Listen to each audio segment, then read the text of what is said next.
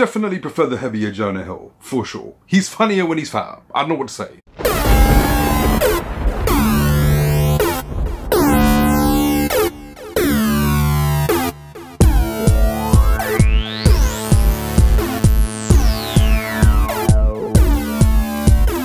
Forgive the mess and what have you, it's one of those days. Yeah, so that being said, your boy Brass Tax back in this bitch.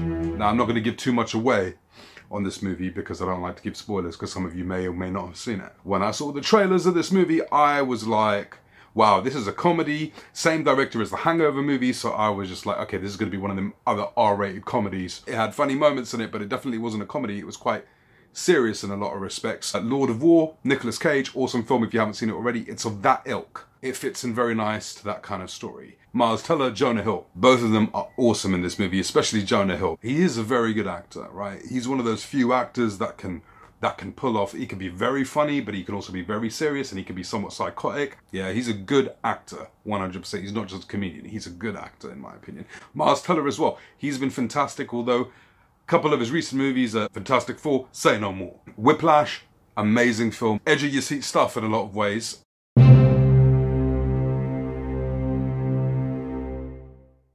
Two best friends who become arms dealers. One of them already has a kind of background in arms dealing, but uh, it's really about all the trouble they get into and the lengths they go to to make certain deals, to sell guns to certain places, to certain people, and about how it affects their relationships with their families and uh, primarily with each other.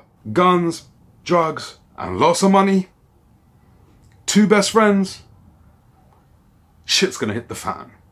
And boy does it because it's based on a true story, there's a lot of fact and fiction in this just to make it more entertaining, I guess, as a movie. Don't go into this thinking this shit unfolded the way it um, really unfolded because it's not true. One of my favorite movies of the year. I, I enjoyed it. It's funny because although I was expecting a comedy, what I got was kind of what I expected in terms of how the story played out, but it was just a different, it was just more serious. I definitely recommend it. It's a really good movie. You'd want to pick it up for sure.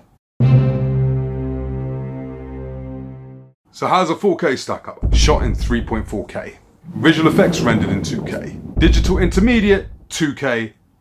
Upscale to 4K. DTS HD Master Audio 5.1. The first thing you'll notice is the HDR. Immediately, the colors are vibrant, bright, and a lot of the shit just pops off the screen. What the HDR does a fantastic job of doing, once again, is bringing out details in the littlest of things because of the light and darkness. Now, in terms of texture quality, especially where they are, there's a scene that involves a lot of guns and a lot of crates and bullets. Those things you will notice the sense of depth and obviously detail, sharpness, hair and everything, uh, the pupils, you see every little thing. Colors do pop out. The tone of it is very natural, right? It's natural, but just brighter for sure. There's nothing I've seen on the movie which will make me think, wow. Some of the shots be like, okay, that's actually quite nice. The detail and sharpness does really pop off the screen. In some cases, you do feel like you're actually there with them, but it doesn't give you that wow, wow factor because there's as a movie itself, you're not really looking at special effects. It's not a special effects movie, so I guess you won't be floored by a lot of things. There are special effects in the movie, but I didn't notice them, which tells you the implementation of special effects, however little they were, were done very well to the point that you didn't feel anything was too artificial. It was good job. Scenes in the dark actually did show a lot of detail. It does a very good job of taking the light and the darkness, putting it together without losing detail. And you notice that on a lot of the dark shots for sure.